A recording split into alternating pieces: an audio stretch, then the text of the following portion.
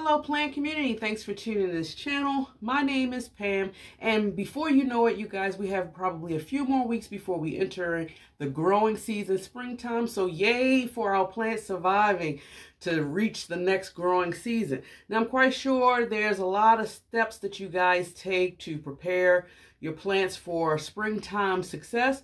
So today you guys I'm going to share with you five steps that I personally take to ensure that my plants are growing healthy and that they're thriving in this upcoming growing season. So stay tuned.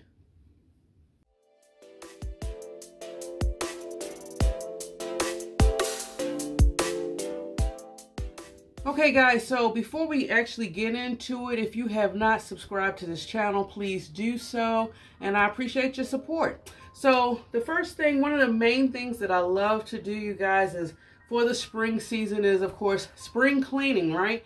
And there's two things that I like to clean, windows and leaves. In particularly when I'm in this sunroom because currently I have two, four, six, seven windows, including eight if you include the door.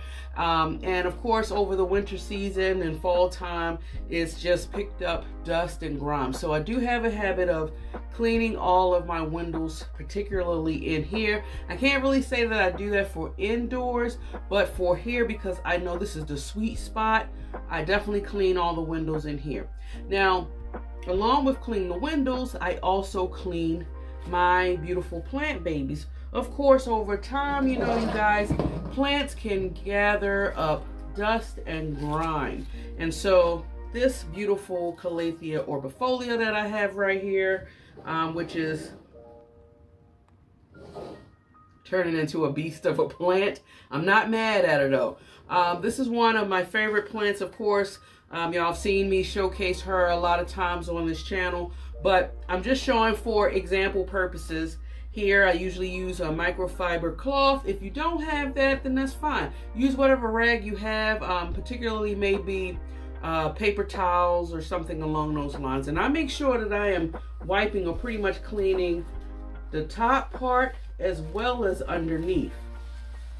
Doing so, you guys, just remove all that buildup of dust and it's clean for them to be able to properly photosynthesize. That's why for me it's equally important to clean not only the leaves but the windows as well.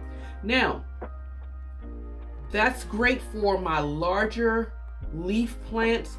Now for my smaller ones like my beautiful small dainty Hoyas, um, I want to say mainly my Hoyas because I'm able to wipe down these and my ficuses, my Hoyas. My small leaf ones, you guys, I typically spray them down with water. It would just take too long and be unrealistic to try to wipe down each and every little tiny dainty leaf.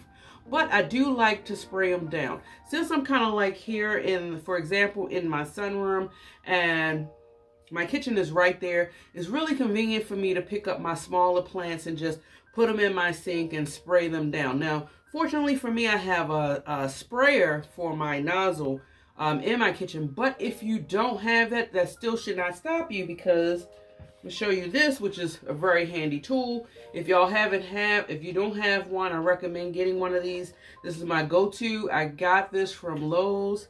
It probably was roughly um, about like $8. This is a half a gallon. Um, I think it's very convenient, especially if um, you're up older and it's hard for you to carry things around. For me, it's a little bit more convenient just grabbing my little plant babies with the small leaves. I take them, I put them in the sink and I can use my sprayer. But if I didn't have that, this right here does very well. I use this a lot for my indoor plants that um, I need more space and I have to put it in my tub because I don't have a detachable shower. And I don't really want to have the shower just like raining on my plants. I want to kind of control the workflow, the water flow, if that makes any sense. So I usually put them in my tub and I use this to spray and clean my leaves and it, and it tends to work fine. And it knocks off if there's any pest. So that goes into preparation step number two.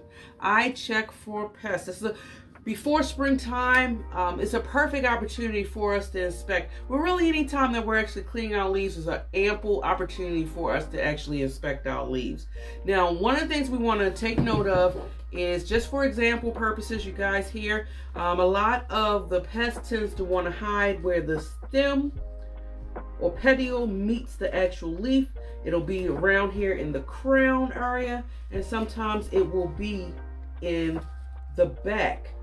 But there's also, okay guys, so another area that we want to check for pests, I think is this called the sheath? I'm not sure, but these grow traditionally on our philodendrons and it's just been my experience that these little buggers, bugs, they love nestling in the crevice of this. So I would traditionally just pull that off, pull it clean off. That way you can check to make sure that there are no pests hitting inside. Tip number three, you guys, is prune, or what I call P and P, prune and propagate. So it took me a long time, you guys, honestly, throughout my plant journey to finally feel comfortable enough and understand the logic behind actually cutting back my plants. I didn't want to cut them because I'm like, oh, they're growing so beautifully, yada, yada, yada. I'm thinking I want to, I need to save each and every leaf. And that's just not a good habit to have. It's best to cut back some of the leaves. It pushes or forces our plants to go in activation mode or uh, survival mode. And where you cut once, it grows pretty much twice. And so I do prune back. And I believe if y'all have watched me, y'all have watched me actually cut this big baby back and how she just steadily keep growing from me doing that. So sometimes I'll cut back the plant, the leaves that look not too aesthetic. So for example, you guys right here, just want to share with you this leaf right here. Um, know, this leaf right here, as you can see, is a pretty good leaf. It's only crispy a little bit at the edges. So for me, I'm okay with that. Um, but if you're not okay with something like that, then just cut the whole leaf off. It just seemed like when the majority, 80-20 rule, when 80% of the leaf still look good, but only 20% looks bad, then I kind of like just deal with it and until it finally goes too far back.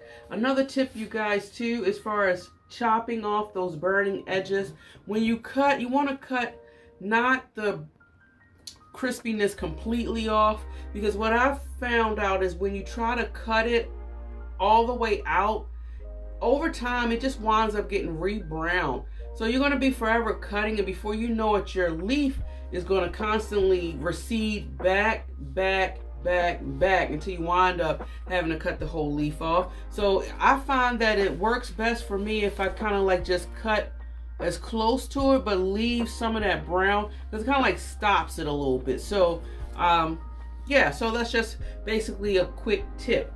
Now propagation as we're also cutting these plants back, you guys, we want to take the opportunity to propagate. If you're one of those ones that say, oh no, I don't want to prune back my beautiful plant, or if you want to take an opportunity to have like a a backup plan for a struggling plant, this is an opportunity, you guys, to actually propagate, especially with plants that root very quickly. You can do so and have roots growing in no time in a matter of, I say at least two weeks, depending on the plant, you guys, and it will be ready for springtime.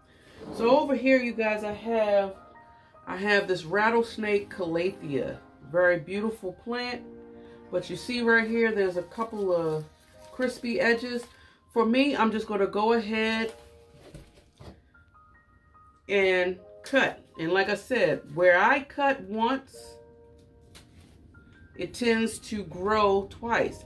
Now I'm thinking, okay, oh my God, Pam, why you do that's a perfectly good leaf? It probably is, from, but for me aesthetically at this point, I'm at the point where I'm looking for beautiful plants and I want it to grow healthy and full and lush. So, you know, you have to sacrifice some of them. If not, you know, so I'm only going to cut the leaves that I feel are like a little bit like crispy or like this. Like this point, this leaf could have stayed on there, right? Um, it could have technically, but I'm actually helping the plant out too. So instead of me just cutting off the tips of it, I just, you know, cut the leaves off and it tends to help. It helps, believe it or not. Um, I'm not saying cut them down to the, You know, sometimes don't get too, too clip clip happy. And by the way, you guys, these was already pre-sanitized. So if you are going to cut and prune, remember to sanitize your shears. So, and I usually use um, a Clorox wipe because it's more convenient. I have them lying around in my house and yada, yada, yada. So, um, I'm looking, I think, I think I'm gonna leave this leaf, it's okay. Um, got another one that I wanna cut. So anything, it's all about your aesthetics. If you're okay with leaves looking like that, that's fine. There's nothing wrong with it because really the leaf, there's nothing wrong with the leaf. But I want to make it more bushier and more robust. But as you can see, and let me see, is this the leaf? Let me just actually cut that off too. Didn't like the way that looked. Okay.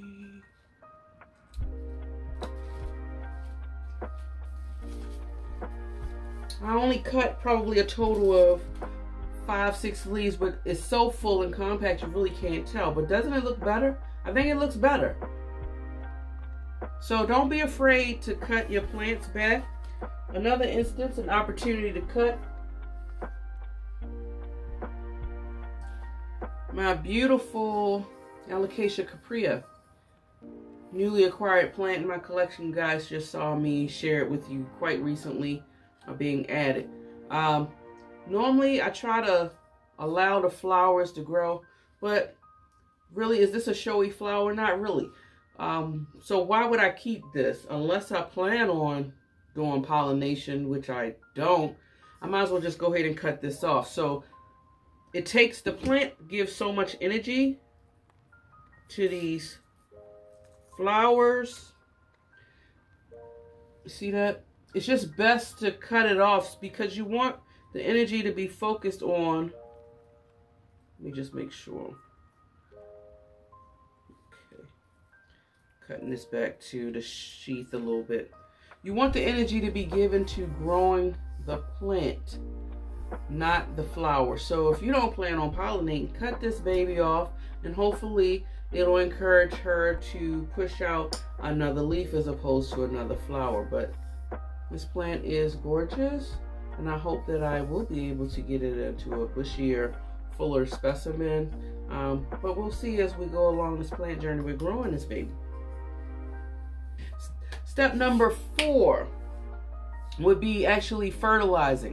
Fertilizing right now is a perfect opportunity to fertilize your plants if you have not been doing so. Now, you guys, I've been saying for my plants that has been growing, I do fertilize them as long as I see new growth throughout the year.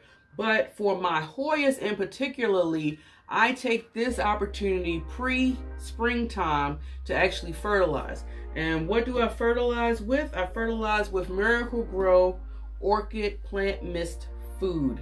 Now, I know a lot of you guys, or there's some of you guys out there that's not a big fan of using Miracle-Gro, and that's quite fine. I'm just sharing with you guys what I do. It's just a spray. I pretty much take the opportunity, especially all the Hoyas that's in here, and I spray them all down with this. And I don't know, I've been using this for, this would be my, hmm, almost my third year using this, and I don't know, I've it just seemed like I've been seeing more blooms with me using it. I don't know if it's just the mad, if the timing was perfectly, you know, like I had the perfectly beautifully uh, mature Hoya that just happened to bloom. Would it have bloomed without me using this? I really can't say, but what I can say is that I've just seen increase in my blooms with using the spray. So it's up to you if you guys want to try it um, or test it out maybe on one of your Hoyas that you've never seen a bloom from and see if it does do anything. I just know that I do have a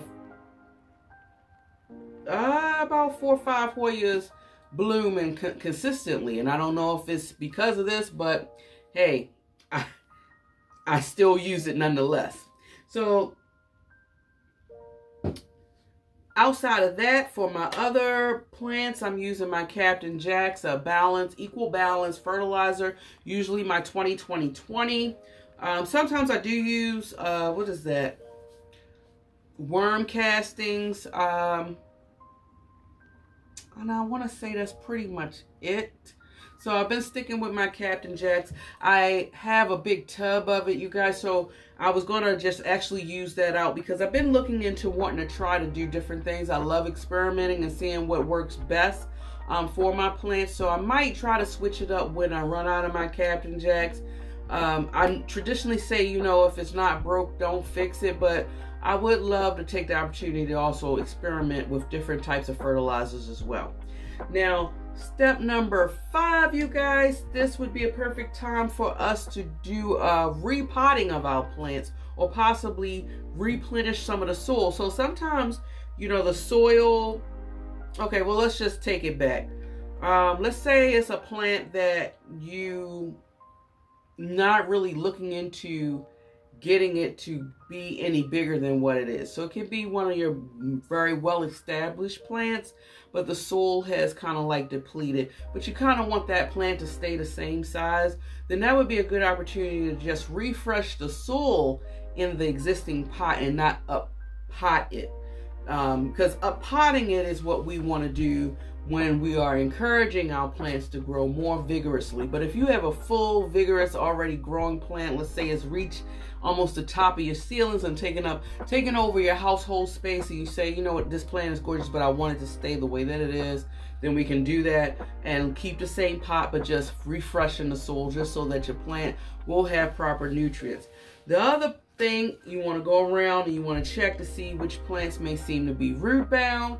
This is a good time to take a look at the soil, see what's actually going on with the soil. If the roots are perfect, if the roots are, if they need to be pruned back, because we can also prune back the roots. But it's a good time for us to actually get down and dirty with our plants, dig into that soil and take a look and see what's going on. And then also up pot your plant babies if needed. So I think those are the five main things I can honestly say that I do um, to prepare my plants. Um, another, I'm going to give y'all guys an extra tip of something else that I do do. And I guess this would be a tip number six, even though I said I had five. But I guess this is be a bonus feature for those of you who stayed towards the end.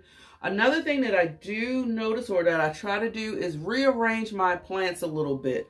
Sometimes my plants that require more light.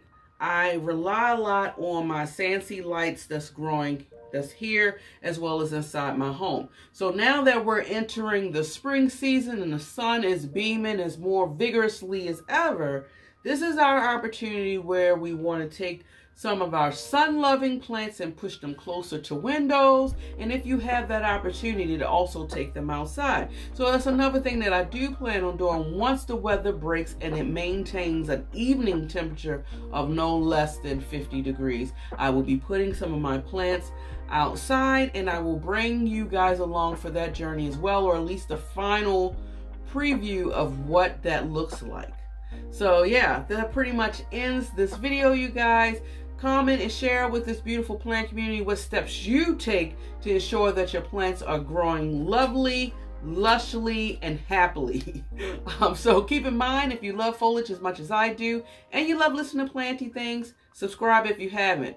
Push those thumbs up. It helps my channel out a lot. I appreciate any and all support you guys can give me. Enjoy your day wherever you are in the world. And until next time, guys, much love.